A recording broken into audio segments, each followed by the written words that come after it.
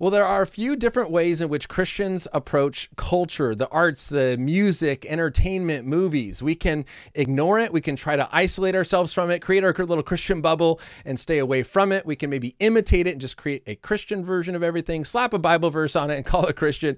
Or we can think well about it. We can see what sort of cultural ideas are out there, see what nuggets of truth we can find, and then use that to make connections with people. I think we saw the Apostle Paul do this at Mars Hill Hill, where he took artifacts and truth from what he saw in that culture, but drew them to the truth that it was revealing, pointing them to Jesus Christ. And so that is our conversation today of how can we think well about our culture, the arts and entertainment? How does the arts and entertainment, your favorite movies, point back to God, reveal Jesus and the gospel? That is the conversation. To do so, we're going to be looking at this new book, Hollywood Heroes by Frank Turek and his son, Zack Turek. So, first, Frank, thanks for coming on. Thanks for joining me. Thanks, Ryan. I'm bringing an audience with me. There you go. All right. Yeah. Wow. We have a, a lot more people watching than normal. I love it. I love it. Um, yeah, so uh, Frank, as many of you uh, know, is the president of crossexamined.org, uh, well known for his book that he co authored on uh, I don't have enough faith to be an atheist and gives that presentation all over the place. And so, Frank, this is a little bit different than what you normally do, maybe, of just kind of a, an apologetic showing an argument for the case for God. How did you get into this idea or this topic of movies? Well, my son has always loved movies. My, my eldest son, we have three sons. And uh, I don't know, it must have been five or six years ago. We just got talking about so many of the movies that he saw and a lot of the books that he read. He read a lot of books growing up uh, that were turned into movies. And uh, at one point, I just said to him, Hey, Zack, there's so many parallels here to the Christian story. We could probably write a book. Right. Now, he has gone to Southern Evangelical Seminary like I have. He already has his uh, master's degree in philosophy there, even though he's in the Air Force. Uh, he's a major in the Air Force now.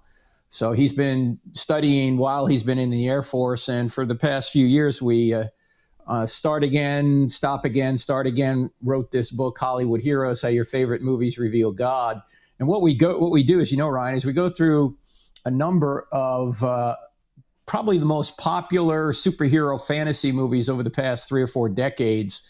Movies like Captain America, Iron Man, Harry Potter. Harry Potter. I know Christians go, "Oh no, Harry yeah. Potter." And we You're can talk about watch that. that. movie, Frank. yeah, I know.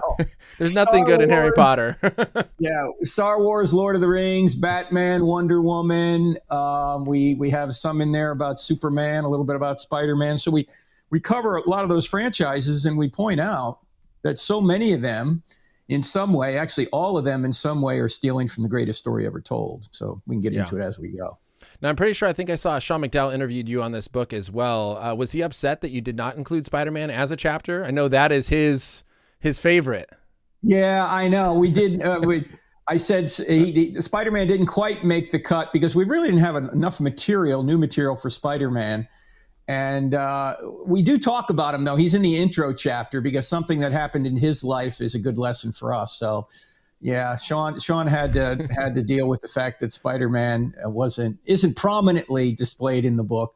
Yeah. My favorite superhero actually is Iron Man. Uh, so maybe we can okay. talk about that a little bit, but we will get to Iron Man here in a little bit. Right. Yeah, absolutely. So, yeah, I think as as we kind of uh, uh, discuss this, I want to kind of kind of maybe come back to how I started because how I teach my students and, and the approach I want to take is say, look, you know, I don't want to just ignore it. I want to I want to engage with culture. I want to think well about it and how to draw those connections. And so, kind of, how do you see? You mentioned how these favorite movies often steal from a biblical view. Uh, can we kind of start out maybe in a big picture of like how kind of do you have advice or thoughts on how we as Christians can be engaging with Hollywood? Where, where do we need to stay away or, or how can we use this well kind of in gospel apologetic conversations? What does that look like? Yeah, first of all, let's all admit what we already know. There's a lot of garbage that comes out of Hollywood. We all know that.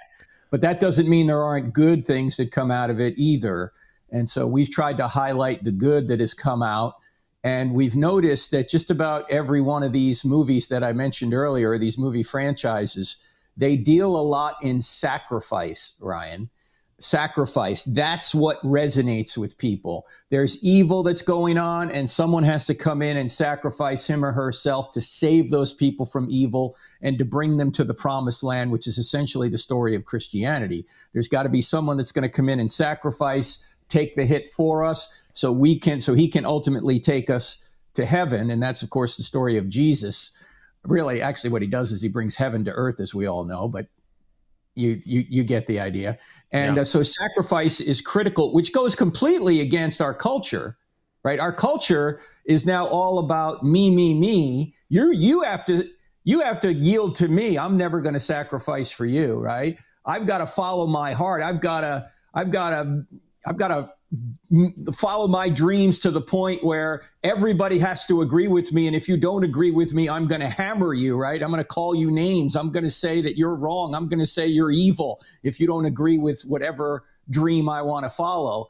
That's not of course the christian viewpoint. The christian viewpoint is god comes to earth and he sacrifices for us. And we're saved by simply accepting what he's done for us Right, and, and, we we recognize this, and so I'm kind of curious as as we look at this. I mean, there's there's aspects that we can see in these movies, right? That, that talk about what a hero is and that talk about this. And, and there's something that resonates with us in that. And I know there's kind of two different approaches where someone might come along, a skeptical person and say, well, yeah, we just have this kind of this, this story that we like about the hero that conquers the day and saves it all. And the Christian story is just another one of those made up myths that just the hero mm-hmm. conquers the day and saves it all. There's, there's nothing true about that. It just is a, a nice story we listen to. So why would you say that this is actually stealing from the Christian story versus the Christian story is just another one of these made up stories, like everything else that we're seeing in Hollywood. Uh, and there's no reason to believe that either. Well, as you mentioned, our book, I Don't Have Enough Faith to Be an Atheist, points out why the Christian story is the true story. And we do have a bunch of apologetics in the book, Hollywood Heroes, Ryan. It's woven yep. through uh, the chapters. But it reminds me of something we have in the introduction when uh, J.R.R. Tolkien and C.S. Lewis were friends before C.S. Lewis was a Christian. J.R.R. Tolkien, who, as you know, wrote Lord of the Rings, uh, said to Lewis, "You know, Lewis, you're, you're, Jack. That was what they called him. Jack. You know, you're you're enthralled with all of these mythical stories about uh, dying and rising gods that most of these came after Christianity. You're enthralled with them, but you're not enthralled with the true myth. The true myth is the Christian story, which actually did take place. And why are you not interested in the true myth? And it got Lewis thinking. And as you know, Lewis ultimately became a Christian and then became probably the top apologist of the 20th century because he checked into the evidence and realized Jesus did did rise from the dead. So the Christian story is not just another story as Tolkien put it, it's not just another myth, it's the true myth. This one really did happen. And so we have some of the evidence for that in the Hollywood Heroes book and of course we have much more in the book uh, I don't have enough faith to be an atheist. Yeah. Now I'm curious kind of with, with that, you know, we we you you cover superheroes here in this book and and you kind of mentioned before of like the culture is kind of shifting where instead of you first it's me first and there seems to be mm-hmm. this like disconnect where we recognize that the true hero is the one that sacrifices right. and and gives up for others yet at this and uh -huh. we love that and we're drawn to uh-huh. that but at the same uh -huh. time we don't do that ourselves. And so I'm curious as you were writing this, if you kind of had processed that with your son of like, where is that disconnect for what we see on the screen and recognize as a hero to what we actually live out in our everyday life? Yeah, it, we could all be indicted by that, right? We're the me yeah. generation. We're not into theology, we're into meology, you know, whatever I want. I'm going to change the scriptures to suit me. I'm going to assume that God agrees with everything I do and God has to adjust to my sexual preferences or or my relationship preferences or whatever I want to do with my life rather than the other way around. So, yeah, that's one of the issues that uh, we bring out in the book Hollywood Heroes is we point out that what really resonates with an audience, Ryan, is not selfishness. It's not follow your heart. What really resonates with an audience is when somebody sacrifices himself to save somebody else. Yeah. That's when people go, wow. They don't go, wow, when some guy chickens out and just is in it for himself, they go, that guy's a snake, right? Right. the audience really gets excited when somebody gives up what he wants to do in order to save somebody else. Right. Yeah. When the person example after example of that, if you want. Yeah, when the person runs and hides in a corner out of fear, mm-hmm. we're not like, wow, mm-hmm. look at how amazing they are. So, so kind of here at the very beginning, you know, if you can kind of spell this out a little bit, like we talk about Hollywood heroes, and we have this kind of picture of a hero. Uh, how would you define kind of what is a true hero, and how is that kind of taken from a Christian view? Yeah, well, of course, the ultimate hero, the last chapter of the book Hollywood Heroes is Jesus, Jesus of Nazareth. And while some of the other heroes that we cover in the book, whether it's Captain America, Iron Man, uh, whether it's Wonder Woman or Superman, whoever else we cover, we say they have qualities that uh, maybe they have some of the uh, qualities that Jesus has, but Jesus has all of the qualities in a perfected way. That's someone who's going to put others above himself. That's a hero, someone who is going to sacrifice his own well being or his own life to save somebody else for the right reason. And that's, of course, what Jesus does. And that's, of course, what all of these Hollywood heroes do. They're yeah. willing to sacrifice. And uh, when we get into Iron Man, I'll give you a, a, prime example of this. Iron Man is is a lot more like you and me than it is uh, than he is other uh, superheroes you see in in the book. That's one he, that's one of the reasons he's one of my favorites. But the real point that we're trying to get across here, Ryan, is I know there are parents watching right now who um, are going, you know, how do I get my kid? My kid really loves movies, but he's not really that all interested in Christianity. He's not really all that interested in God. Well, why don't you take what he loves in a movie or she loves in a movie and say, man, if you love Harry Potter or if you love Iron Man or if you love Lord of the Rings, man, you're going to love the Christian story. Right. You're going to love Jesus because Jesus is the perfection of all those characters. And the difference, of course, is that Jesus is real, Jesus is true, and Jesus came to save you, not some somebody on the big screen. He actually came to earth to save you. And so you can use this book, Hollywood Heroes, especially now around the holiday time, to get your kids a little bit more interested, hopefully a lot more interested in the true hero, the ultimate hero, and that is Jesus of Nazareth. Well, yeah, and there's deeper questions, right, that can come out with that. It's like, okay, you know, son, you love heroes. What about the hero do you love? Mm-hmm. And where do you get that from? Where, where like, mm-hmm. why, why, Frank, is sacrifice a good thing?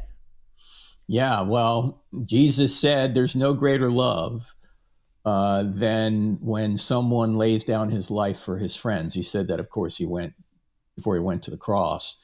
And I don't care if you're an atheist. When you see that, you go, that's noble. That's beautiful. Yeah. That's that's true love. That's something where you sacrifice yourself to save somebody else. There can't be any higher form of love than that. Yeah. And that, as I said earlier, that just resonates with people. Follow your heart and do whatever on your heart, regardless of the moral consequences, is not inspiring to people. It yeah. doesn't resonate with people. We may say we want to do that, but when we see somebody doing that, we go, "You're selfish." You know, you're yeah, we, you're somebody I don't want to emulate. Yeah, we know when it. You, yeah, yeah. When you see somebody actually sacrifice himself or herself for someone else, we're we're we're moved by that, rightfully so. Yeah. Now you have a lot of conversations with students on college campuses. Uh, you do this quite frequently, and I'm just curious, kind of like what sort of responses have you gotten from them? Because in a in a secular framework, in a naturalistic worldview, uh, one in which morality is relative and a very popular idea in our culture, like how do we make this case that that sacrifice and heroism is actually objectively good? Or are there a lot of students who are saying no, it's just something we like, but there's not actually anything inherently good about it? Yeah, actually, I think a lot of students who are not Christians or not theists, maybe they're atheists, they don't have a coherent worldview, as you know, Ryan. They um, don't realize that their worldview cannot support what they also believe is true, and that is it is love really is right and murder really is wrong. They they think love is right and murder's wrong, but they just can't justify why love is right and murder's wrong unless God exists. So they don't recognize that their atheistic worldview does not afford them with these moral values that they already believe in.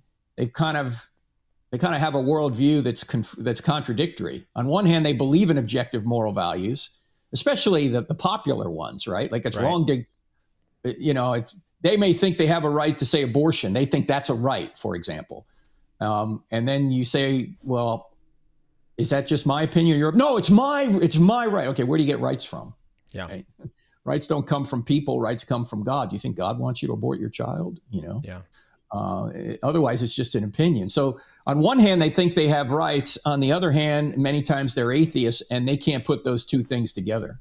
Yeah. Yeah, it really makes no sense within a naturalistic worldview of why something like sacrifice is good. It seems to go against evolution and, and what you know exactly. we're, if we're trying to allow for the survival of our species.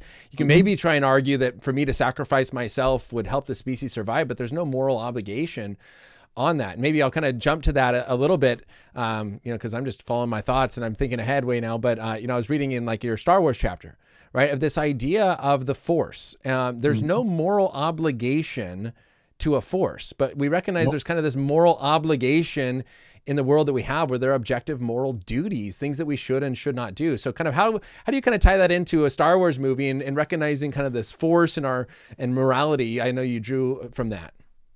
Yeah, well, we said that on one hand, George Lucas says that Star Wars is a morality play, and it is, right? It's good versus evil, the Jedi versus the Sith, right? It's it's Luke versus Darth Vader, and Luke wants to redeem his father. Oh, sorry, spoiler alert. Uh, Luke, Luke, Luke wants to redeem his father, Darth Vader, right? These are all themes that are going on through the movie. Um, and we asked the question right in the chapter in Hollywood Heroes on Star Wars how do you have an obligation to a force? And the answer, of course, is you don't. I don't have an obligation, say, to obey gravity. Neither do you. You know, right. if you go, go and try and dunk a basketball, you're not sinning against the law of gravity. Okay. so, um, how does how is morality accounted for in Lucas's kind of pantheistic world? And the answer is it isn't. It's it's a movie. He doesn't have to connect all the dots, right? He doesn't have to be logical everywhere. It's supposed to be fantasy. But isn't it interesting that when you go to the theater and you sit down or now you watch it on your TV, you automatically know who the good and bad guys are, right? Yep. Yeah, you you already know that the Sith are evil and the Jedi are the good guys. So the audience brings a moral compass to the movie even though in that movie there is no objective ground for good or evil because there is no god that is a personal god to whom that to whom you are you are obligated to obey right yeah, and I think this is such an easy way. And if we're really engaged with the culture and the entertainment, we're thinking well about this. We can hear people that that make moral demands. Uh, it's common, or people that are revolting and and protesting things in culture, recognizing immorality and immoral behavior and we go okay how do you how do we account for that because it's something that people recognize they know that there mm-hmm, are objective mm-hmm. moral duties and things that are actually right and things that are actually wrong and it's the christian worldview that makes sense of this and so you know i think that's you know kind of the connection for those students is as people watch these movies and go wow what they did was good okay why mm-hmm. was that good right? right? and i ask my students this you know so sacrifice right that's what makes a hero why is sacrifice a good thing Mm-hmm. How do mm-hmm. you explain that upon your worldview then and make a case that sacrifice is good? And so you talk about that of this idea of the, there's no objective grounding for morality if there's just a force. Now, kind of going back, you know, you, you talk about it as well, and then I'll get to some of the other superheroes. Um, about this idea of kind of this longing for another world, right? Not only are a lot of these, almost all these movies are this fight between good idea, uh, good and bad, but also this longing for another world. Um, you know, maybe another world that we're actually made for, and that, you know, and that we're and we're realizing something true that is true. C.S. Lewis kind of teased on this a little bit as well. Could you go into that of this idea of how you get us longing for another world in these movies? Yeah, as C.S. Lewis has said, as you pointed out, that if I have a desire for something that this world cannot satisfy, uh, then the best uh, the best explanation is probably that I was made for another world. Yep. And we all know that we can have great relationships, we can have great jobs, we can have great homes and great comforts and great causes here on earth, but we still all recognize something's missing, Ryan. I mean, even the best relationships, even the best jobs, even the best situations lack something. We're we have a void and we know that there's something beyond this world, something transcendent that can satisfy us even though we can't reach it here fully. Right. And that's what Lewis was getting at. We have yeah. these little glimpses of heaven when something happens in your life and you go, wow, that was amazing. And then it's fleeting, it's gone. You're back to reality. Um, and Lewis is pointing out that there's something in us that says this isn't enough. There's something beyond this. And of course, the scriptures say God has put eternity on our hearts. Augustine famously said that uh, we our hearts are restless till we find our rest in you, God. Uh, and all of these movies demonstrate the human condition in some point, to some degree. Every one of these movies has a problem. Otherwise, it wouldn't be an interesting movie, right? uh, you know, okay, uh, uh, Captain America runs into problems. Uh, Iron Man runs into problems. You know, the Thanos wants to take out the the evil or wants to kill half the population, and later he wants to kill everybody and start over. Right? These are all problems that have to be dealt with because things aren't just right. Um, every movie that we look in has a problem and everybody's longing for a solution. Now, we love being taken from a place of evil, pain, and suffering to a place where we can live happily ever after. Yep. That's what these movies do for us in, a, in an artificial way. But that's, of course, ultimately what Jesus does for us. Yep. We are bound here by a bondage to decay. We know things aren't quite right we get sick, we die, we, we, we have heartache, we have pain, we have suffering. And you read the second to last chapter of the Bible, there's not going to be any more of that. God's going to come back, save us, create a new heaven and new earth. And the only question is are, have we accepted the gift that He's provided for us? If we yeah. have, we'll be with Him. If we don't, we'll be quarantined in a place called hell. Yeah yeah, these movies are so such clear pictures of revealing mm-hmm. uh, to us the broken fallenness of the world and and re- and uh, revealing this desire we have deep down where we want that evil to be stopped and we want mm-hmm. to live in a place where there is peace and wholeness and love. And the Christian worldview actually satisfies that problem. There's a real problem and there's a real solution and jesus right. can actually satisfy that and we we see that and that as you point out here it, it there brings out that longing in us for this mm-hmm. we can use that to have spiritual conversations with people. Man why do we have that deep longing in us for this world? And do you actually want the real solution or do you just want to watch movies that excite you about having a solution but is not actually real in the real That's world? right. It's all make believe right yeah yeah. yeah if, if, yeah, if you love some of these movies because you know they live happily ever after, well, it's not just a movie; it's it's real life. Yep. Yeah, they're taken from the true story of reality. Mm-hmm. I want to read a section here. I don't often do this when I interview, but uh, there's 2 mm-hmm. paragraphs here that I thought were so good on page 15 in your introduction. And mm-hmm. he says, whether you say, whether on the big screen or in real life, we are naturally drawn to those who exhibit courage, self control, wisdom, justice, faith, hope, and love. We intuitively know those virtues make them heroes. No one ever mistakes a coward, double crossing, selfish cheat for a good guy, even if he occasionally does the right thing. All of this assumes that human life really matters, that there's a right and a wrong way to treat people, there's a true purpose to life and an ultimate destiny for all of us. That's actually the Christian worldview.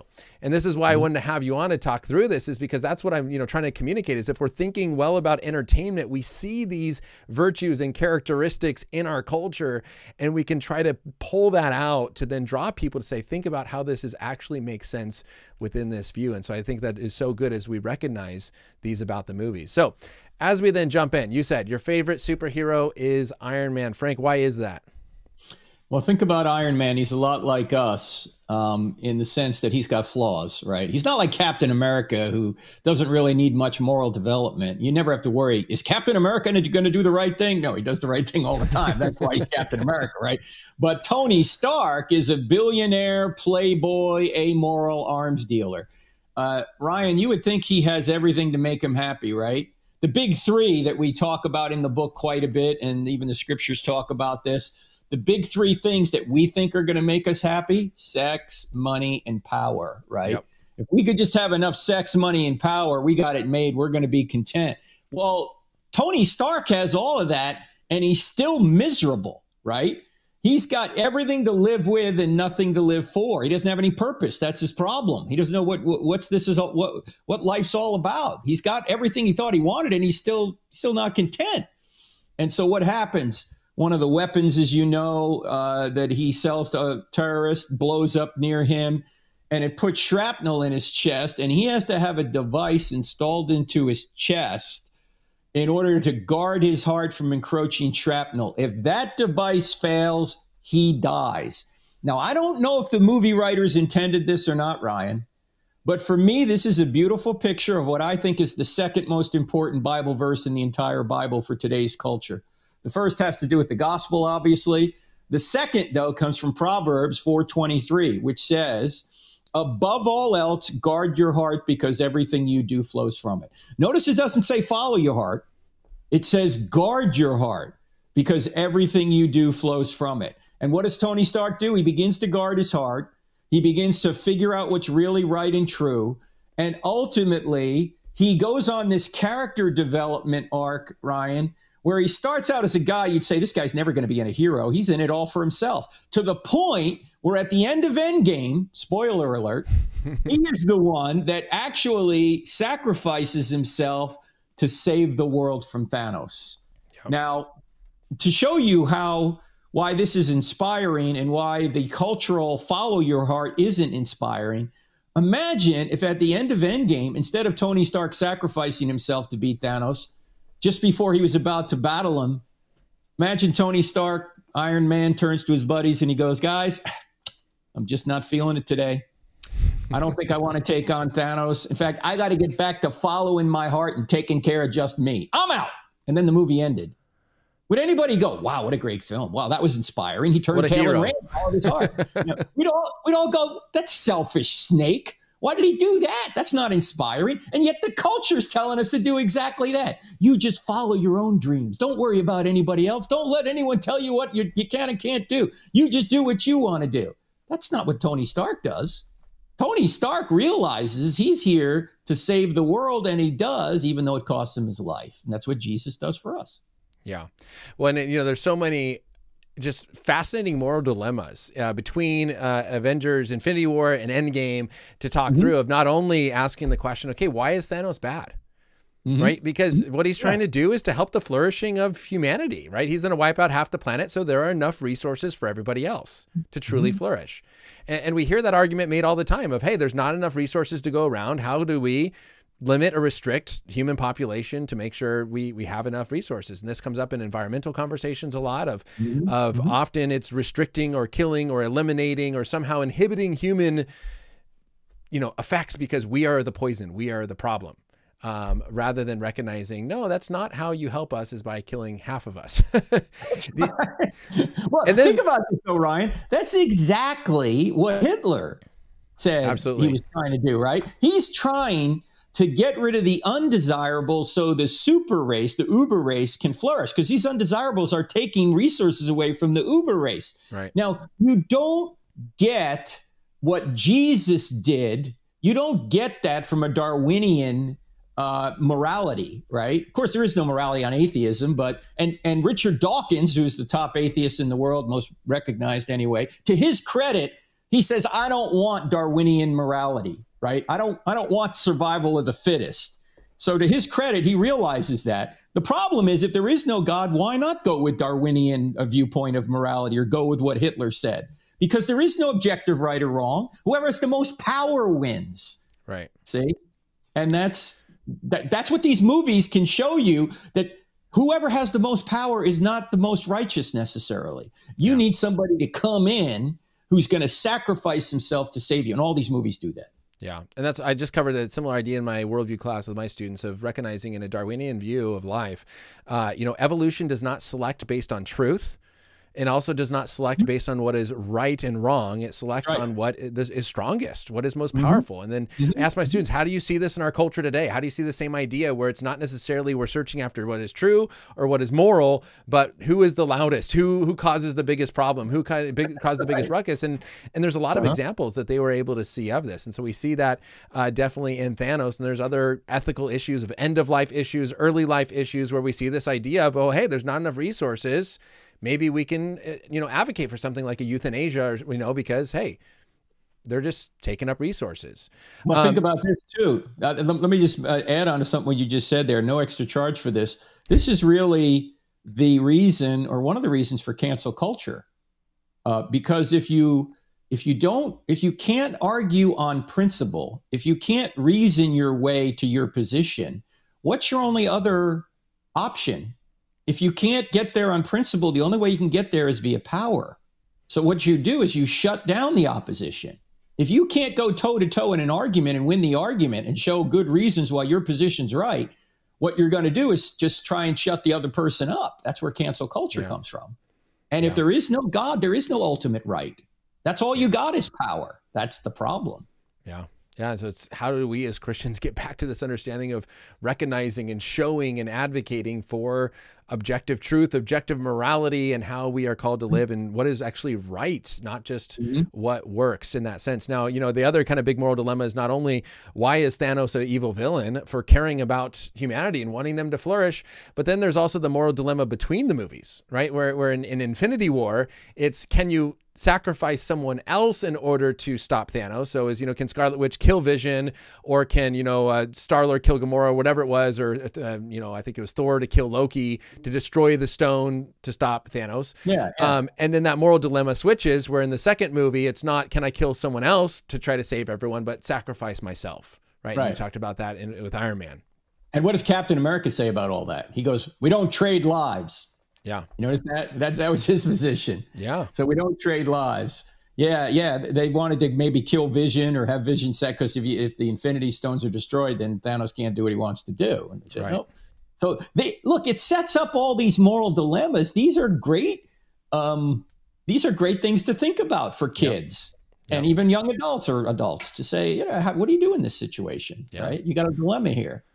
Uh, so Absolutely. It, it's great moral. So in the book Hollywood Heroes, we not only have obviously the movies we're talking about, we have apologetic insights on how this points to the Christian uh, truth, the, the truth of Christianity. We have theological insights, and also these ethical, philosophical issues that we deal with. In fact, when we we talk about Batman, as you know.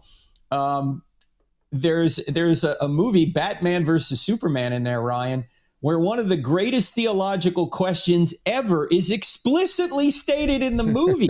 it's a central part of the movie, and that is if there is a good God, why does he allow evil in the world? And yep, that's Lex Luthor, that's right? right in the movie. And of course, we unpack it in the book too. Yeah, absolutely. Now, in the Iron Man chapter as well, you, you talk about this idea mm-hmm. and you ask the question, does the suit make the man or does the man make the suit? And mm-hmm. you, you know, the kind of presenting this idea of everything is achievable to technology, better living right, and robust right. health. And and, you know, we finally achieve world peace through technology. And we realize that is also not true. Uh, that the technology will overcome everything. There's still this miserable, you know, Iron Man is miserable and all this kind of stuff.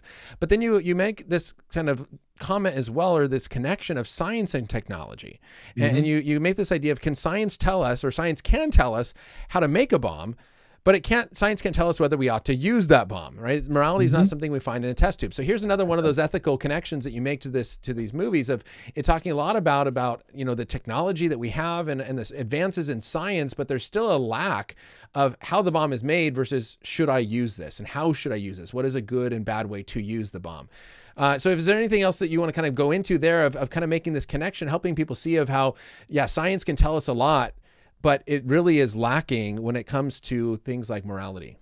Yeah, well, as we point out in the book, science doesn't say anything, scientists do, yeah. right? See, the scientist has to gather the data and then interpret it and then decide whatever he's gathered and whatever he's interpreted, if he's invented something new, how it ought to be used. Because science, as you pointed out just a second ago, is amoral.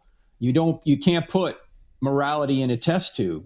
So we can figure out how to build a bomb, but are we going to know whether or not we ought to use it? That's not a scientific question. That's a philosophical, ethical question. Right. And if there is no God, there's no right or wrong answer to that. Only if there is a God whose nature is good, is and and therefore he created us in his image, and therefore people are are valuable. Do we then have a moral obligation not to do something that would take the innocent life of innocent human beings. Yeah. Yeah. And so, again, I think this is something that we as a culture, for most of us, we know deep down, whether we admit it and say it with our words is different, but we know this deep down that there's a way in which people should act. Mm-hmm. And that mm-hmm. not science, something that science can tell us. And so we hold oh. this view that science is the ultimate source of knowledge. Um, you know, there is something that science can't tell us, and it can tell us a lot, but it can't tell us how we should use things and how we should not. Now, interesting. Uh, Let me just add on to that because yeah. when, when, people say, "Well, uh, all truth comes from science," as you well know, um, that's a self-defeating statement because that truth doesn't come from science, right? It's right. not a statement of science to say that all truth comes from science. It's a statement about science. It's a philosophical statement that can't be proven in the laboratory. Yeah. And as we point out also in the book, that you can't do science without philosophy. Science is built on philosophy And in fact, everything we do is built on philosophy. You could you could give a loose definition of philosophy, not just the love of wisdom, but right thinking about reality. We can't even read the Bible without philosophy, or read something on the internet without having certain philosophical principles that we bring to the text to try and figure out what the text means. Right. So all of this presupposes uh, a philosophical or metaphysical, something beyond the physical reality, which now we're getting into the realm of God. Yeah. I love, you know, the William Lane Craig response where he's is an old debate where they're sitting on the couches and then uh, I think it was Peter Atkins or someone that says, That's you know, right. you know, are, are, you saying that science can't prove everything? He goes, no, there's five things, you know, and he just boom, yeah. boom, you know, beauty, aesthetics, morality. In fact, science itself, you know, mathematics right. is you have to assume mathematics works in order for science to work, and and and to to claim that you know science explains everything, it, it really misses out on all of those things that are not explainable by science including science. You know, if anyone is watching right now and you want to see that clip, I know it's on YouTube. If oh, you just is. if you just Google Craig Atkins debate, I happen to actually be at that debate, Ryan. That debate was in April of 1998. It was in Atlanta, Georgia. And um, I use that clip in I Don't Have Enough Faith to Be an Atheist and even the Stealing from God book, I think, because it's such a great clip when Atkins says, You don't deny that everything can be explained by science. And Craig goes, Well, I do deny. Yeah. You know? In fact, Logic you ask if, explained by science, math can't, aesthetics can't, you know, history can't, science can't. You know, he goes through these yeah. five things, and Atkins is just frozen there, like, you know what? And he's like, if you would have brought this up in the debate, here's what I would have said. I was prepared for yeah. this, you know. Uh, I just looked at, yeah, and then I like the moderator at the end. He goes, uh, put that in your pipe and smoke it. You know, yeah, that was William F. Buckley. You're a little bit young to remember him, but he was yeah. an eccentric conservative. And, uh, in that debate, it was a riot because it started out this way because Buck- Buckley was totally on Craig's side and he wanted to make sure everyone knew he wasn't going to be impartial as a moderator. He was a Roman Catholic, Buckley. And so when he introduced uh, Craig, he said, uh, representing the Christian position is Dr. William Lane Craig. And then when he introduced Atkins, he said, representing the devil is Dr. Peter Atkins. It was just, it was classic. Anyway, wow. they can watch yeah. that debate. Yeah, I looked it up. I looked up right mm-hmm. here. Does science prove everything? That's from Dr. Craig Videos YouTube. And then there's another one. What science can't prove? Dr. William Craig mm-hmm. explains to Dr. Peter Atkins. Now, uh, along with that, you know, one other thought that pops into mind. I know, uh, you know, I, have had him on my show, and I know you uh, have had interviewed him many times. But uh, John Lennox, who I named my son after, um, is um, talks about this just simple idea of you know you walk into someone's houses and a, and a you know pot of tea or a pot of water is boiling on the stove you know science mm-hmm. can explain that and here's the molecules and here's why everything is bouncing around and here's why the water is boiling but then there's another legitimate question to why is the water boiling because i want a cup of tea that's and, right. And yeah. there's a personal explanation to it, and there's a scientific explanation to it. Both are valid, but and give you different aspects of why that water is boiling. Uh, but not everything is scientific. Absolutely. That's right. Um, all right, so switching gears here, uh, the the forbidden movie that you decided to address, Harry Potter. Let me start with this first paragraph that you mentioned here. You said, arguably, there has not been a single fictional character in popular modern literature and film that has had more in common with the life, death, and resurrection of Jesus Christ than Harry Potter. Now, as Christians, we often love the Lord of the Rings series or whatever, and you say, yeah, the Harry Potter's story mirrors the life, death, and resurrection of Jesus more than Gandalf from Lord of the Rings or even Aslan from the Chronicles of Narnia. Christians might go, what? More than Aslan, Frank? Uh, so, what are you trying to say here of how Harry Potter has more in common with the life, death, and resurrection of Jesus than arguably any other fictional character in popular literature? Okay, put aside for a second. We'll talk about it after this. I know a lot of people are worried about the occult in the movie and all that. Okay, we'll get to that. But set that aside for just a second. Notice that Harry Potter parallels the life of Jesus virtually identically in this sense. Number one, he's prophesied to be the savior of his world before he's born, and an evil force, king, tries to take him out before he's or when he's an infant. Does that sound familiar? Okay. Secondly, he has to live a moral life in order to achieve him being the savior of his world. Thirdly, he then has to sacrifice himself, die in order to save his world. And then fourthly, he rises from the dead and his followers have to put their faith in him in order to ultimately defeat the Satan figure Voldemort. That is a exact parallel to Jesus, and you know why it is? Because J.K. Rowling, who is the author of the whole series, said that the entire series can be epitomized by two Bible verses which appear in the books and the movies. The first is the last enemy to be destroyed is death, which is, of course, from 1 Corinthians 15. And the second is where your treasure is, or your heart will be also from Jesus' Sermon on the Mount. And Rowling said, I never wanted to talk about this. I never wanted to talk about that these are British books and they're going to have a biblical worldview in the sense that that's what we're going to follow here. I never wanted to talk about this because I didn't want people to know where we were going with it. Hmm. Okay. So the parallels are direct because she's getting the story from the Bible, essentially. And you can, as we point out in the book Hollywood Heroes, she's been interviewed several times on this. She points all this out. Now, of course, the occult gives Christians allergies to this, and I get that. Okay. Uh, let me mention a couple things about the occult in the movie.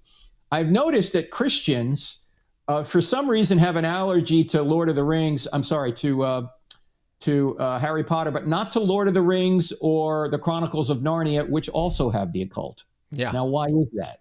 And I think maybe the reason is uh, is because C.S. Lewis and J.R.R. Tolkien were already known as Christian authors. When J.K. Rowling showed up, nobody knew who she was. Hmm. And like, can we even trust this person? You know, do, do, is is this is this proper here?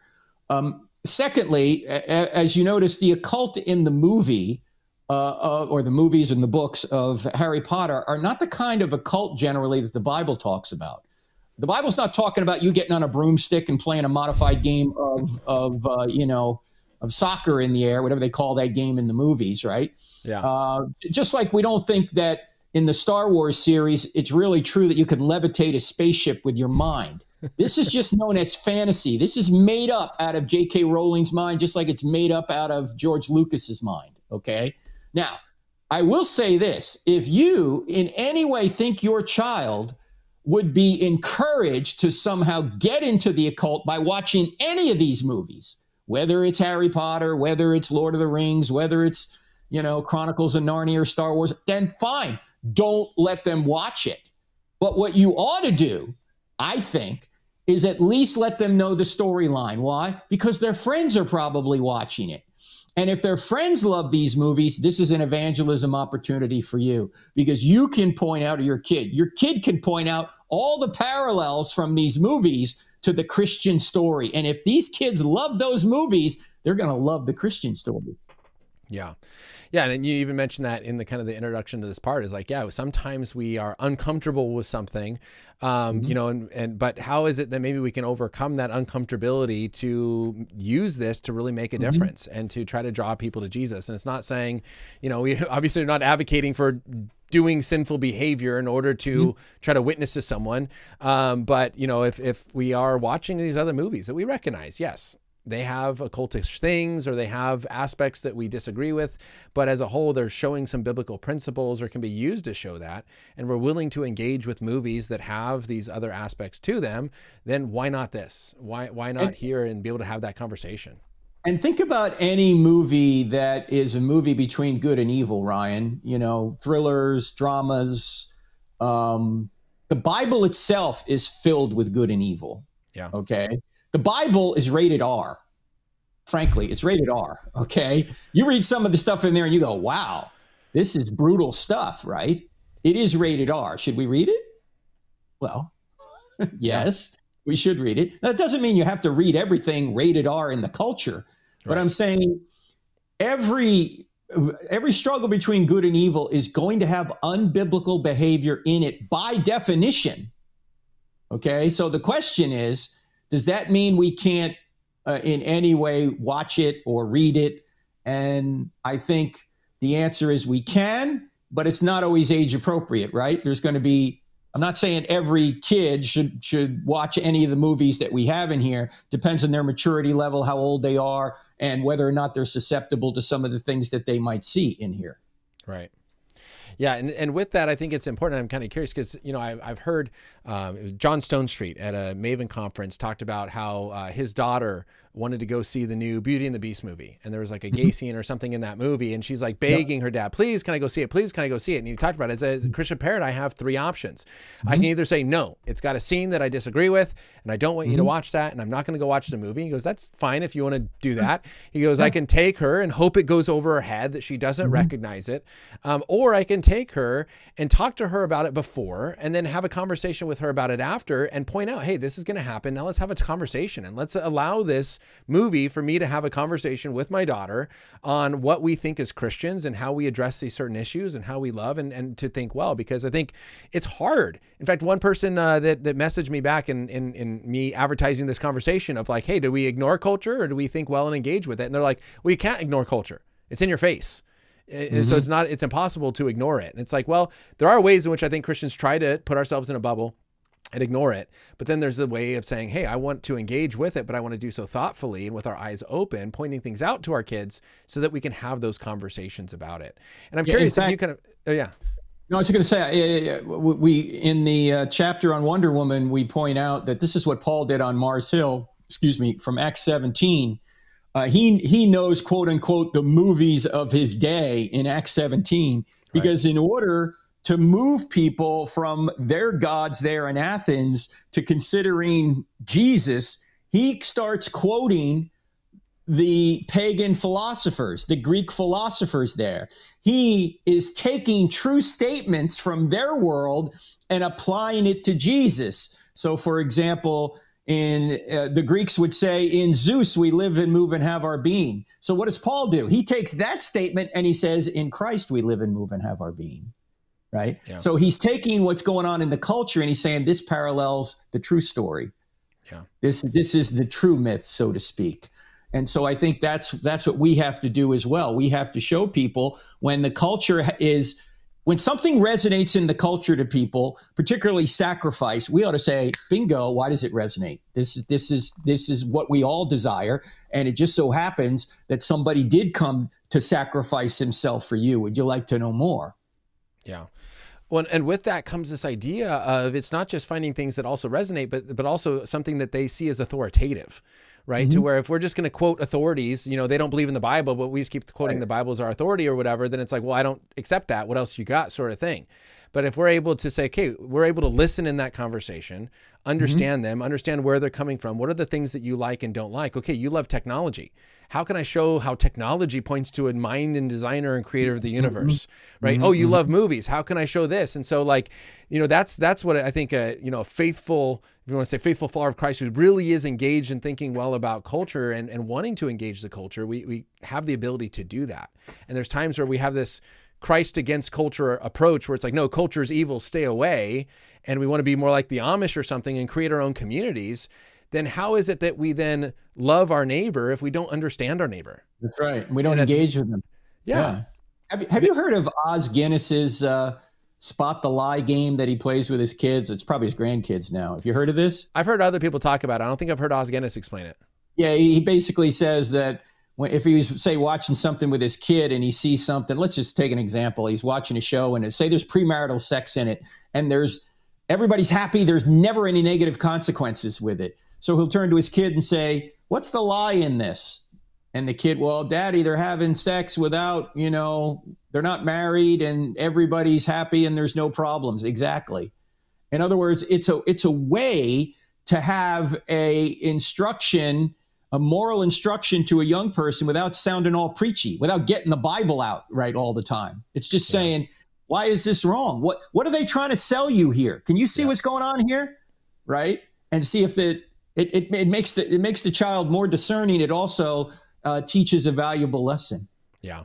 Yeah, and it's you know, and it's times like where I cover my ethic, uh, my worldview chapter. I remember, uh, you know, students are like, I can't watch movies the same anymore. I'm like, you're welcome. I, I don't I don't want people to be selling lies to you and making them look convincing and that just kind That's of right. going past your mind and you just start adapting beliefs and ideas that are just blatantly not true that you can go hold on a second that's mm-hmm. not what happens. I know a lot of friends who have tried that and that's always worked mm-hmm. out wrong, you know? Mm-hmm. And and there's a goodness to having your mind turned on when you're engaging with entertainment. Not only does it keep you from falling to uh, captive right. to those lies, but then it allows you to better do what God has called you to do in making disciples and evangelizing and having those conversations because you understand people and then you can use mm-hmm. common references that relate. Mm-hmm. Exactly. Um, so when you kind of work through these, uh, we talked about Harry Potter, we talked a little bit about Star Wars, Iron Man. You briefly mentioned Captain America. I'm kind of curious when it comes to Batman. Uh, we have mm-hmm. just a, a, little bit left, about 10 minutes or so. Um, what do you see as uh, being kind of maybe unique in Batman uh, that uh, kind of points to or reveals God from maybe the other superhero movies of sacrifice and that sort of thing? The most unique thing about Batman is he has, or that series has, the most uh, the most realistic view of human nature. Hmm. Uh, notice that in Gotham, just evil is everywhere, and it doesn't matter how many bad guys that Batman locks up. He's got there's another bad guy the next night he has to go lock up, right? It just never ends. He never wins. He can never take a break. And yeah. he's always fighting in the dark, right? Men love darkness rather than light. He's always trying he's it seems like he's fighting a losing battle and he is. And the same thing is true in real life. We have uh, police and we have military to and government to limit evil. We know we're never going to completely eradicate it. We're just there trying to limit it. We're trying to uh, protect innocent people from evil by through government, through the military, through through police. Uh, that's that's what we're trying to do, and Batman depicts that better than any. And as I mentioned earlier, a film that a lot of people didn't like, but man, did it really hit a big issue was Batman versus Superman. Uh, and that they address directly if there is a good God, why is there evil? And so we cover that in the book Hollywood Heroes as well. We talk a lot about evil and why would a good God allow evil? So we cover all that. Yeah, no, that's so good because yeah, that is the question. And I when my why God allows evil talk, I always mention that of like, hey, you know, how do we deal with these different problems of evil? Because if someone comes up to you and just says, you know, why does God allow good things to happen to bad people, right? As Sean McDowell always says, and I heard it, I think first from him, you know, how you respond first is of all the questions to ask about God, why that one? Mm-hmm. Because if the response is, well, I just found out yesterday my grandma was diagnosed with cancer right? Mm. The response you're going to give is very different than if someone says, right. "Well, I was just watching Batman versus Superman," and Lex Luthor yeah. says, "Hey, if God is all powerful and all good, why is there still evil in the world?" And and if you respond intellectually to the person whose grandma just got di- diagnosed with cancer, um, that's not going to help. And you're probably going to, you know, hey, well, God has a plan for this, you know, buck up, you know, sort of thing. It's like you're gonna you're gonna get slapped in the face. Cold. Yeah, yeah, you're gonna get slapped in the face and have your own problem of suffering. Um, but if you respond to the person who just watched Batman versus Superman and saying, "Come here, just cry on my shoulder. I'll listen to you," you're like, "Dude, get, get away from me! What are you What are you doing?" Yeah, uh, yeah, it, yeah. definitely takes very different responses, and so yeah, that's a huge issue there in that movie of why does God allow evil. Now, uh, you know, kind of as we wrap up, you know, I'm curious, uh, as you kind of research these movies and you worked and talked about this with your son, kind of, is there anything else that maybe we haven't talked about that you kind of really thought was unique or stood out of maybe a connection that you made in the research that you maybe weren't expecting or something like that? Well, there's plenty of those in the movies, but one of the things that really struck us uh, was the last chapter where we write about the ultimate hero. And um, one of the things that really strikes us about Jesus is the fact that he never allows his good qualities to lead him into trouble. What do I mean by that? Um, he he never uh, gets out of balance in any way. He's like, you know, apologists. We tend to be more truth than grace, right? Like, here's the truth. Come on. Why, why can't you see this? Right. But Jesus, yeah. he's 100% truth and 100% grace at the same time. I'm looking for the place in the book we cover this. It's in the last chapter. Um, and he's, I'll just paraphrase it. He, he, he is uh, completely mission focused, Ryan, but he's also people oriented like I'm mission focused all the time. I'll, I'll like steamroll people on the way to the mission, right? I'm not I'm not sensitive enough. He is um, uh, just somebody who has incredible confidence, at the, but at the same time, he's completely humble and approachable, hmm, right? Yeah. I mean, there's nobody in history that you know, in fiction or nonfiction, that has this perfect hundred percent. Even though these are almost contradictory values right? Confidence and humility, um, truth and grace, a mission focus yet people oriented. You know, he's got all this down and he has it in a perfect way that could never have been invented.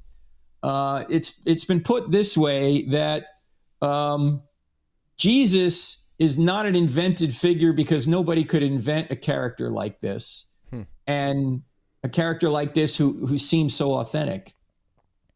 And so when you look at Jesus, Jesus is the perfection of all of the heroes that we talk about in Hollywood heroes. Whereas some of these heroes may have one or two of these perfections or one or two of these qualities, not to a perfect level. Jesus has them all, and he is our sacrifice. Yeah. And so we aim all of these heroes at the ultimate hero, Jesus, and then we have the gospel at the end. We say, Have you really accepted what this perfect hero has done for you. And if you yeah. haven't, why haven't you? So that's the goal of the book is not just to have a fun read, and hopefully it is a fun read. Most people on Amazon do like it. It's a fun read. But it's also to give people apologetic insights, to give them theological insights, to give them practical life lessons, and to point them ultimately to the Savior, yep. Jesus. That's really the goal of the book. And hopefully, if your kid or your young person or even your old person who loves movies isn't as dialed in on Jesus, get them Hollywood heroes. Hopefully, it'll bring them closer. Yeah, and that's why I try to encourage parents and students. It's not just this Christian secular split of I only listen to mm-hmm. Christian music and Christian movies and I don't secular. It's like, hey, you, you actually find some amazing biblical truths and the gospel presented in ways in secular non-christian movies and it's amazing when mm-hmm. this happens. And yeah you, you tie it all in here of you know the focus and wisdom and courage and humility and loyalty and discipline of all these different heroes put yeah. together into one figure. Now you do make an interesting comment here as well of that we have this understanding of you know i will sacrifice for a loved one. I will sacrifice for someone in my family someone i love. And then we see these heroes not just sacrifice for their family or for their loved ones but sacrificing for strangers. And it's like, wow, how amazing is that? Is this per, you know, they died for someone they don't even know. And mm-hmm. then you make the point in your book, Jesus not isn't just that. He takes it like one step further and now he's the only person in history who's dying for his enemies. Yes. Not not friendlies who he just doesn't know mm-hmm. and not his loved one, but his enemy. Yes. Right? And, and how unique is that? It is. It's it's unlike any other hero. You see Captain America and Iron Man, maybe they'll sacrifice themselves for people they don't know, but who's going to sacrifice himself for his enemies? Jesus is the only one that does that. He's the he's the perfection of all this. Yeah. And so that's what we're aiming at with Hollywood Heroes. Yeah. So as you mentioned there, kind of uh, of who's reading it, kind of um, what would you say kind of is your target audience? Are you are you looking uh, in that very broad sense as you mentioned there of uh, of that? Is it more kind of a younger audience of who's kind of really watching this? Or are you trying to tie this into other aspects of, of apologetics and culture and conversations to where the, you're you're looking much bigger than just those who who love these sort of Hollywood movies? Yeah, well, there are people like Natasha Crain who only saw one of the 19 movies we recommended in the book. And she said, I love the book. I could still track with it. She says, I'm not a movie person, but my kids love these movies. So I know where what I'm going to do with the book. So you don't have to know the movies to read the book, but it, it is fun if you do. In fact, here's an idea. What we're really, we're thinking, uh, Ryan, we were thinking that parents or youth group leaders, but particularly parents would go, hey, movie night, Saturday night, invite your friends. We're going to read this chapter on Lord of the Rings, and then we're going to watch one of the movies, hmm. right? And then discuss it afterwards. Next week, we'll do movie two. The week after that, three, right? Yeah. Uh, then we're going to do Iron Man. We'll start with the Iron Man movies, and we're going to read the chapter. You know, I mean, kids are going to love movie night, right? yep. And then you can teach these theological, apologetic, and life lessons right to them and get them more interested in Jesus and Christianity. That's what we thought about. Now anybody yeah. can read the book, but that's that's kind of the target we were thinking of. Yeah, awesome. Well, everybody, there you go. Hollywood Heroes, Frank Turek, Zack Turek. Um, you saw it here, and there's other uh, movies and heroes that is, are mentioned in the book, like Wonder Woman, that we did not get a chance to. So check that out. Pick up a copy if that, uh, man, it, it, was a fun read. You are right about that. Now, uh, Frank, uh, as we finish up, any kind of last words, uh, kind of other thoughts of other kind of ways in which people can follow crossexamined.org and kind of the work that you're doing and different speaking events that you're going to be uh, doing here around the country? Yeah, crossexamined.org has it all. Our YouTube channel has probably 2,000 videos now. We go to college campuses, high schools, and churches and present the evidence that Christianity is true. For those of you who are watching on November 9th, we're recording this tomorrow night. November 10th, we'll be at a college, Valdosta State in Georgia. If you missed it, it's live streamed. You can go to our YouTube channel and see it. This is where we go to college campuses, present the evidence that Christianity is true, and then we take questions. So if you fast forward, say a minute, an hour, 45 minutes into the thing, you'll probably start seeing Q&A. So we do a lot of that. We also have a podcast called I Don't Have Enough Faith to Be an Atheist, a TV show called by the same name that you can see off our app, the Cross Examined app, two words in the App Store. It's also on Roku and uh, National Religious Broadcasters TV. So uh, we're, we're trying to reach people any way we can. Yep. Crossexamined.org is the website. Wonderful, Frank. Well, thank you so much for taking the time and chat with me today. Thanks, Ryan. Thanks for having me on. God bless. Absolutely. God bless you too. All right, everybody, with that, we're going to close out our time together. But a few announcements before I go. First of all, I hope that you enjoyed this. I hope uh, we helped you think well about how to engage entertainment media and allow that to point you back to Jesus, the gospel, and have productive conversations with those living in our culture. Next week, I'm going to be having a conversation with Alisa Childers on her new book, Live Your Truth and Other Lies, exposing popular deceptions that make us anxious, exhausted, and self obsessed. So that is going to be available next week. If that's something that you're interested in, subscribe and don't miss that video video. Also, like this, share it with those that you think might also be interested and are movie buffs and love these sort of conversations. With that, as we approach the end of the year, I do want to let you know as the first year of Think Well existing, it was uh, founded in June. We are coming up on the end of our first calendar year, and I would love to just take some time and chat with you, share what our vision is going into 2023 about the ministry that God is doing, and give you an opportunity to partner partner with us financially. So if you want more information, you can go to think-well.org, and if you're watching on YouTube in the description description below is a link that you can click and get more information on that, or just shoot me an email, ryan at think-well.org. And I would love to connect with you and just share more about what God is doing through this ministry of training people to think well and engage the culture faithfully. With that, there's going to be more videos that pop up right here that can help you do that and other topics that we have covered here. So, see you next week for another conversation. And thank you so much for joining us today. Continue to think well and think deeply about God, Christianity, and Jesus because they are worth thinking about. God bless everybody. See you next time.